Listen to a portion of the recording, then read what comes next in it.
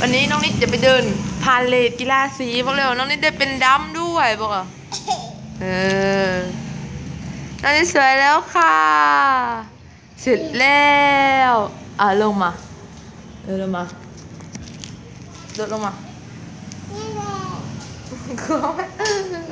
อ่ายืนให้ดีก่อนยืนแรกก่อนยืนให้แรกก่อนอะหมุนซ้ายหมุนเลยหมุนมาถ่ายคนละภาพ กันอ่า